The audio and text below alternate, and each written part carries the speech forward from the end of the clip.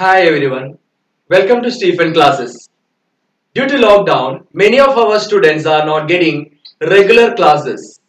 They are all depending on online video lessons.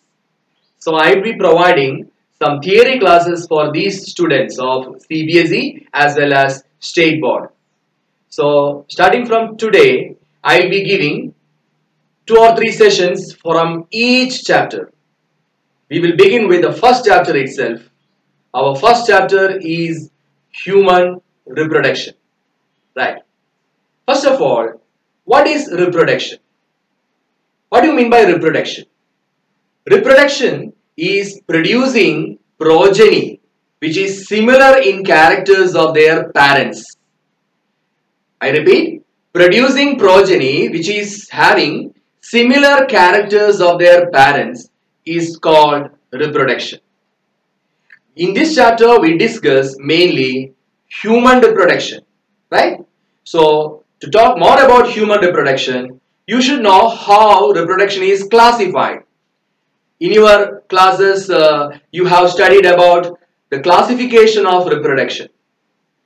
Reproduction can be classified into asexual reproduction and sexual reproduction.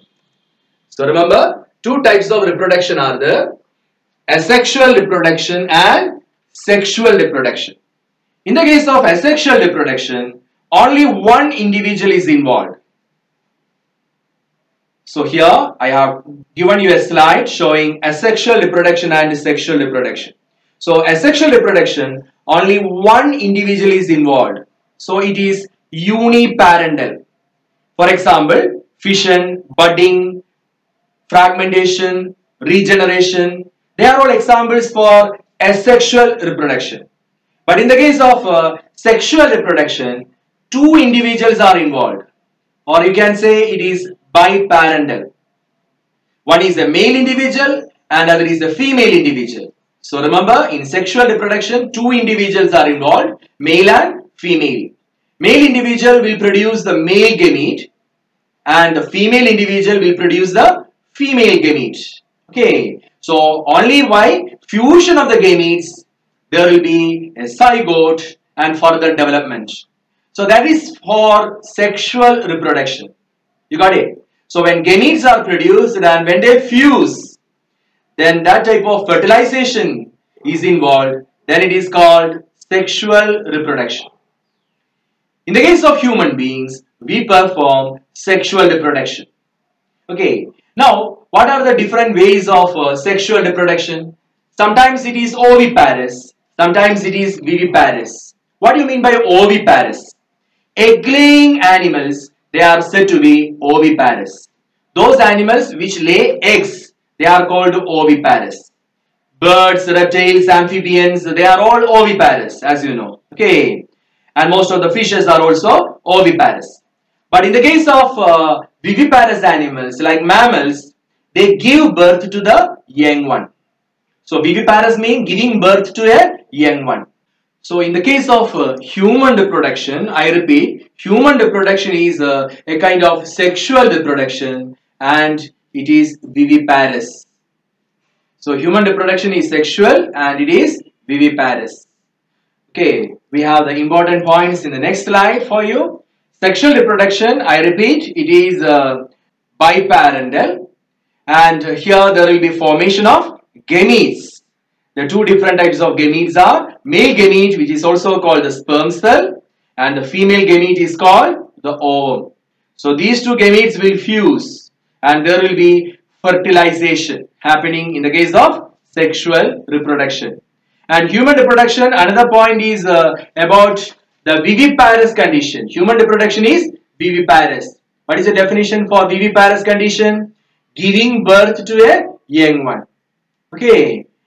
So human reproduction is uh, sexual reproduction and it is viviparous. Now we move to the different reproductive events. What do you mean by reproductive events? The different steps involved in human reproduction. Human reproduction is having different steps like this. So only after performing all these steps the human reproduction can be performed. So these are the steps or events of human reproduction. which is the first event in human reproduction? The first event in human reproduction is uh, gametogenesis. What is the first step? Gametogenesis. What is gametogenesis? Formation of gametes. That is called gametogenesis. So formation of the male gamete by the male individual and formation of the female gamete by the female individual. So there will be formation of the sperm cell and ovum. So that process is called gametogenesis. Okay. Now after formation of the gametes, there will be another step called insemination. What is insemination? The male gamete has to be introduced into the female. Male individual will transfer the male gamete into the female genital tract and that is called insemination. So what is insemination?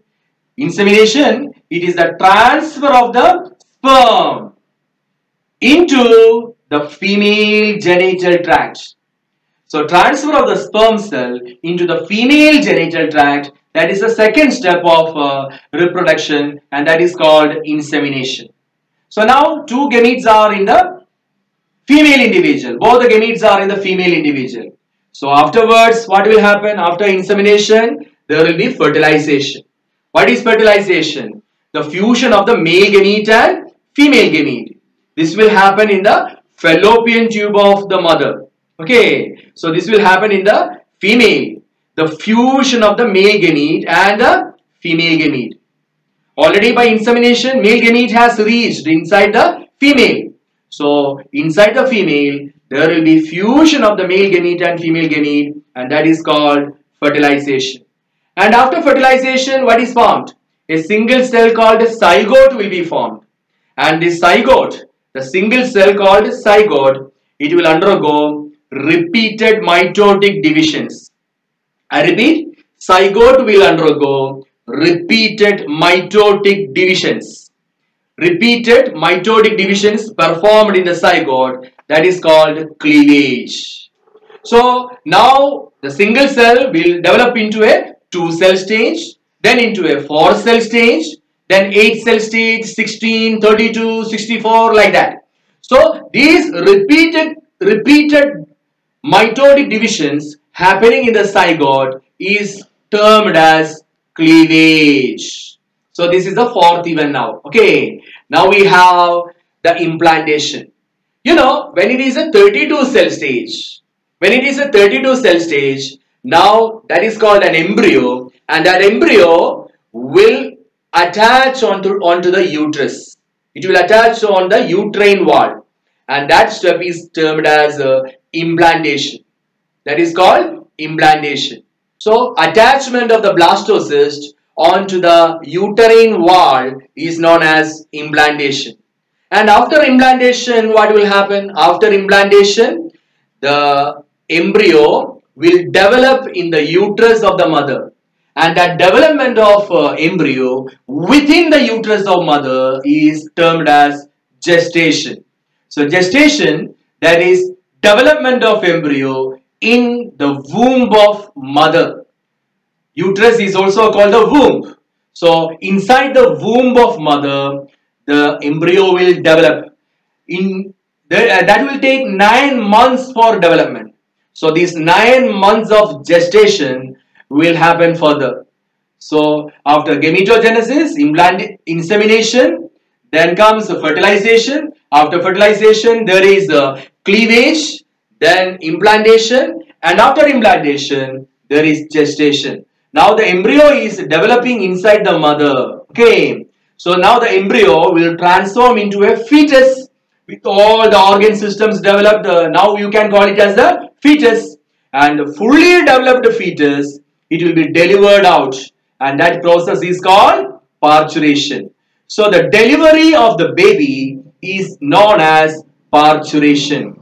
So that is the next step, parturition. Okay, delivery of the baby. Now after the delivery of the baby, the mother will feed it with the milk produced from the mammary gland. That is the last step and that last step is called lactation. So what is lactation? Lactation is feeding of the newborn with milk produced from the mammary glands. So these are the reproductive events uh, of humans. These are the reproductive events performed in human beings starting from gametogenesis, insemination, fertilization, then comes the cleavage. After cleavage there is implantation and after implantation gestation, parturition and lactation. So these are the important events or steps in human reproduction. These steps are very important. Okay. So sometimes they will uh, uh, ask you to arrange the reproductive events in the correct sequence. So the sequence of the reproductive events are very important. Now we have explanation about gametogenesis. You know what is gametogenesis? Gametogenesis is the production of gametes. Production of the male gamete is called spermatogenesis. And the production of the female gamete is called oogenesis. In the case of male, the sperm cell or the male gamete is produced by testis. In the case of male, sperm cells are produced by testis and the production of the sperm cells are called spermatogenesis. What about in female? In female, the production of ova, it is done by ovary and that process is called oogenesis. You got it? So, oogenesis is the formation of ova and formation of sperm cells are called spermatogenesis. So, here testis can be considered as the primary reproductive organ in male. It is a primary reproductive organ in male because it is the organ which produces the gamete. Any organ which produces the gamete is called the primary reproductive organ. So in the case of male, testis will be the primary reproductive organ whereas in female, ovary will be the primary reproductive organ. Okay, so now we have further explanation slide. This slide will give you an idea about the development. Okay, I told you about the zygote. Zygote is actually a fertilized egg. Okay, so this fertilized egg, it will undergo mitotic divisions, repeated mitotic divisions. What is the term for repeated mitotic divisions happening in the zygote? Starting from the zygote? Yes, that is called cleavage. So by cleavage, the zygote will develop into a 2 cell stage, then a 4 cell stage, then 8 cell stage or 16 cell stage. 8 16 cell stages, you can term it as morula. You can call it as morula. M-O-R-U-L-A. Morula. Okay, we will study about it in later classes. So, after the morula stage, there is a blastocyst. What is blastocyst? Blastocyst is a condition when 32 cells are present. When 32 cells are present in the embryo, then it is called the blastocyst. So actually, after 7 days of uh, fertilization, a blastocyst will be formed and this blastocyst is the structure which will attach onto, onto the uterine wall.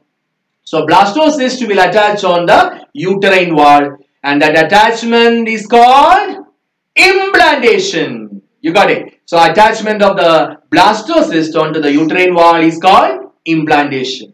So the reproductive events uh, you should uh, remember always.